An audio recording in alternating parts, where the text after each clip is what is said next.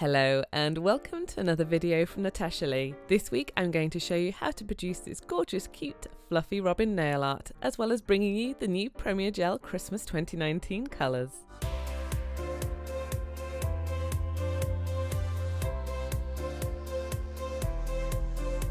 Before I show you how to produce the gorgeous little fluffy robin nail art, I just want to show you some swatches of the gorgeous new Premier Gel colours. I've started with this one because I think it is probably my favourite. I am such a sucker for a lovely classy red like this one. This one is called Berries and I've applied two coats in total just so you can see what it looks like. With all of these swatches I'm applying some top coat over the top and this is the High Shine No Cleanse top coat. Each coat is cured as well as the top coat to produce the final look. And just to let you know, each of the final swatch images like this I have colour graded to be completely accurate to real life. Next we've got cranberry. Now, as soon as I received these colours, my friend spotted this and she had to have it on for her Christmas party. It was a must and it was such a gorgeous colour. This one is cranberry. It's a beautiful soft pink tone with a hint of cerise but without that sort of sharp boldness of cerise. It's got a lovely colour to it and it would suit every skin tone, I think. And again, here is the colour graded image so you can see it as close to real life as possible and in comparison to berries.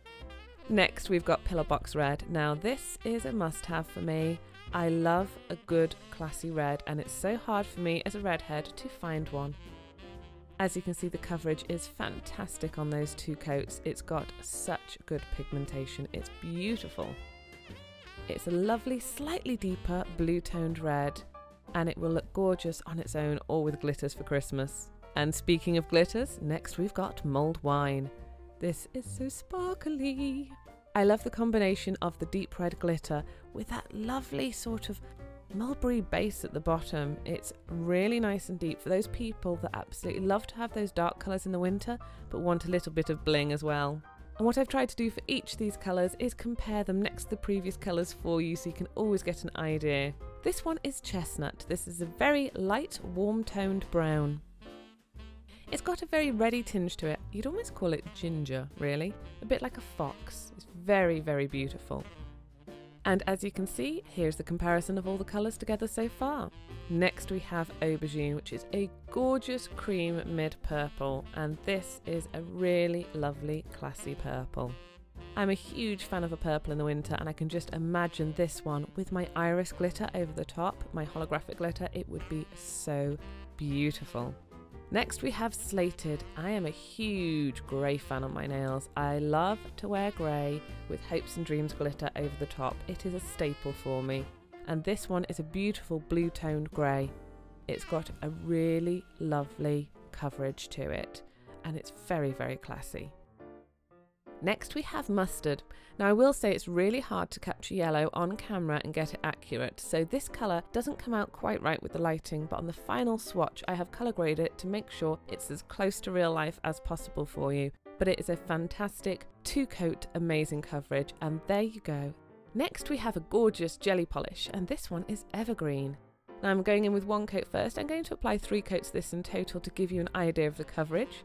But that was coat number one and then cured coat number two, and that's it after three coats. Finally, we have Seahorse, and this is a little bit of sparkly fun for your winter evenings. It's sort of like holographic icicles. It's very, very pretty. And this is a multi glitter with larger hexagonal flakes in. You can see it's got a really good coverage and it applies nice and smoothly. Look at the bling. And here are the 10 colours together, just for you to compare, and full links to where you can purchase them will be in the description down below. Now to show you the lovely nail art that I've created all with Premier Gel. Just to say, I'm in the middle of changing gel brands at the moment, and I'm not taking off the existing gel brand, so I'm just rebouncing with the new, which is what's creating that funny little dip at the back there and that changing colour. Cleanse the nails with 99% isopropyl alcohol, and then I'm going in with berries because this is a personal favourite for me from the new collection. I just love this so much. I was going to initially do this nail art with Pillar Box Red, but then there was just something about berries that was calling to me. I'm going in on all the nails and applying two coats of this. Cure each coat in between. If you're not applying this over existing gel like I am, then I recommend using something like the rubber base coat from Premier Gel to apply first, cure for 30 seconds, apply your colour coats, which are each cured for 30 seconds, and then apply your top coat, which is cured for 60. And all these timings I use with the Sun 3 48 watt lamp. Once you've applied your two colour coats and cured, go in with your glitter. And I am using the Crimson Rose from Divine by Natasha Lee, which is my own brand. And again, full links to all of these products are in the description down below. One thing I do love about Premier Gel is how well glitter applies to it. It's just got the right amount of sticky, which sounds really bad, but it does. It has just the right amount of sticky to hold the glitter without actually leaving too much residue on your brush or anything like that and it adheres really well as you can see here so you can thoroughly brush down those flakes and clean around your cuticle area. Go in with two coats of your top coat and this is the High Shine Non-Wipe top coat. Now for glitters I normally keep one top coat just for going over glitter and one top coat for going over the top of that or over colours and that's because some glitter can go into your top coat and you don't want that to end up in the bottle and get applied to your creams. Now we're going to do some mixing. This is some chestnut with some black, all from Premier Gel. And with my silicone tool, I'm going to mix these together to create a sort of deeper brown for our robin. Once you're happy with the colour you've created, and it really isn't very scientific, I just mixed it till I was happy, clean your silicone tool with 99% isopropyl alcohol. Then I'm getting some pillar box red and some black ready and some mustard. With a dotting tool, start by applying an oval in the centre of the nail with the pillar box red. This is going to create Little Robin's redbreast. Then, with my fine detail brush, and this is the NL1 Elite, I'm going in with that brown mix of the chestnut and the black, and I'm going to line round that red. I do find it easier to actually flash cure at each stage here, so I flash cured the red before I went in with the brown over the top, and that just stops the red from bleeding into the brown. And a flash cure is normally where you do something like a 5 second cure just to hold it in place, but then you do have to go back in afterwards and fully cure it. I'm just creating a sort of egg shape around that red and going right round and filling it in. The great thing about using gel polishes with art is until you cure them, you can just wipe off any mistakes. Using my fine detail brush, I'm doing tiny little ticks out to the side like this to create a little fluffy robinness. Is that a thing? Robinness? It is now. A little curl on the top of the head. And we're going to repeat this down the side. Now you can move your hand to however you want to make this easiest for you. So for example, going down this side, it's easier for me to do it on the desk, but going down the other side, I prefer to do it with my hand upright.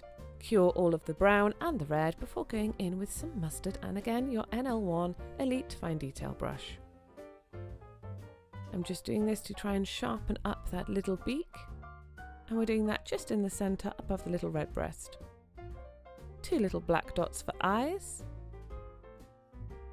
And then I'm just going to touch up that red a little bit to make it a little less translucent over the glitter.